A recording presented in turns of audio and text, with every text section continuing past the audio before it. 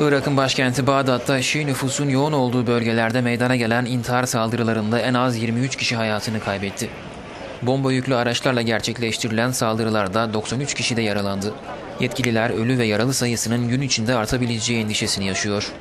Saldırıları henüz üstlenen olmadı ancak son zamanlarda Şii toplumuna yönelik saldırılarıyla bilinen El-Kaide örgütünden şüpheleniliyor.